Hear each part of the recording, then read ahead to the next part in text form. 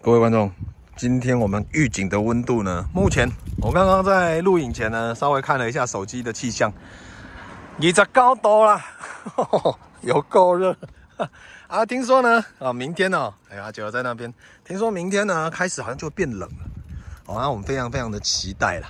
哦，今年听说的，呃，今年的冬天会很冷，哦，这也是一件非常期待的一件事情，尤其是在我们预警这个地方哦，呃。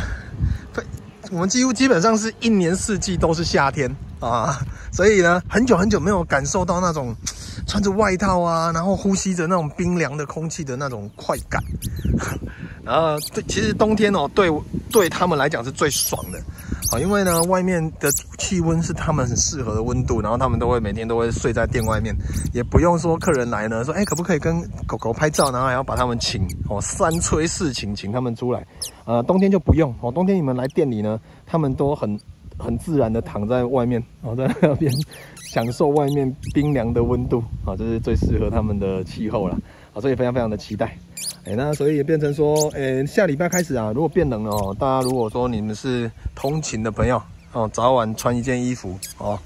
哎，记得提提哦，现在要加上那个疫疫情的关系哦，所以呢，感冒有点尴尬哈哈啊，所以呢，尽量呢还是不要感冒了哦，让自己的身体保重一下啊。很久没有来这个地方了，这个是我的母校玉景国中啊啊，以前呢我们都在那个草地上让他们玩耍，来。太久没有来了哦，今天呢依然是想说给大家来一个假日的，呃舒服的草地的的感觉，算是一个一起我们这趁着好天气呢，呃来享受周末的阳光。哎，阿万阿九还在远方那个旁边那边，我们就先不鸟他啊，因为老人家呢有自己的想法，我们就让他慢慢走。那这一个只这一个影片录完哦，现在我录的时间大概是下午三点左右。那等一下录完呢，我就要准备再开车带我老婆去市区看个医生哦。那她昨天好像有点感冒了哦，所以等一下要带她去看医生，所以不会待太啊。这个直播不会太久啊，啊，这个影片不会太久，因为其实说真的，你看我们影片呃散步直播的影片呢，现在八百多集了。啊，你说真的，现在到后期呢，因为讯号的关系，再加上脸书的直播，它没有办法再存影片的功能，这个功能已经不见了。哦，我起码我的 iPhone 手机是没有的，所以变成呢，虽然现在都改用是直接用录影了。哦，那好处就是画质比较好，也不会断讯。但是呢，我们在讲的过程呢，还有我们在 YouTube 上的影片打上去，依然还是打散步直播，这个是一个习惯啊。真的，你看八百多集诶，你想一下几年了。其实我们之前有讲过，就是有开始列入数字计算的是八百多集，但是之前呢，可能最少还有一百多集是没有列入的哦。但是呢，我们就是以列入数字来算，这样算起来呢，我们直播也快默默的快要四年了，三四年有了吧，差不多吧。哦，一年如果三百六十五天，我们扣掉，因为不是每天都直播，我们算三百集好了。哦，也快三年了。哦，再加上之前的呢，可能三年多。哦，差不多。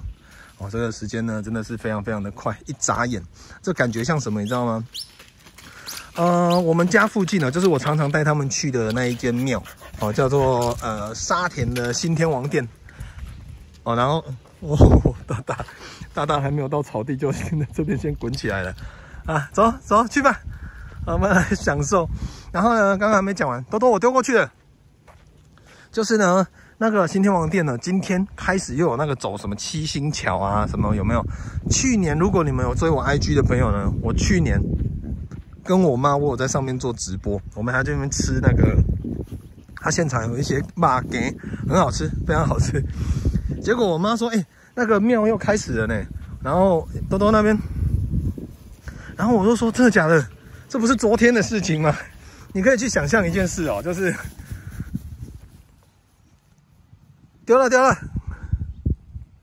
就是呢，哎，我们明明昨天才刚做这件事情，怎么一眨眼又过一年了？哦，时间真的很快呢。我还记得呢，昨天我还是个王帅，怎么一眨眼，我现在已经变成大叔了？岁月真的是不饶人呢，一眨眼呢，我小孩都快两岁了。啊，这个时间真的很过得很快了哦。所以呢，大家呢真的好好珍惜。你看一下我们的。的大大小时候那么可爱，多多要勾住要躲在哪里啊？变安尼啦，一步啦，啊，一步啦，一步啦，大大，你不休息？来 给我，哎，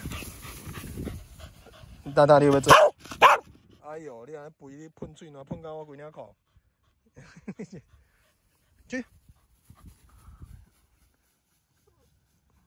青春热血，你看一眨眼呢，他们也都那么大只，都超过快二十公斤了。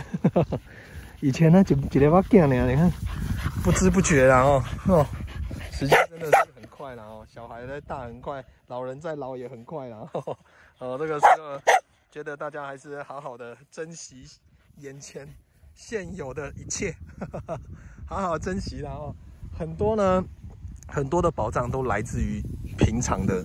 哦，这是你你以为的稀松平常，反正大家都在追求很多的呃比较比较稀有、比较珍贵的物质，比如说跑车、钻戒，然后名车那什么豪宅。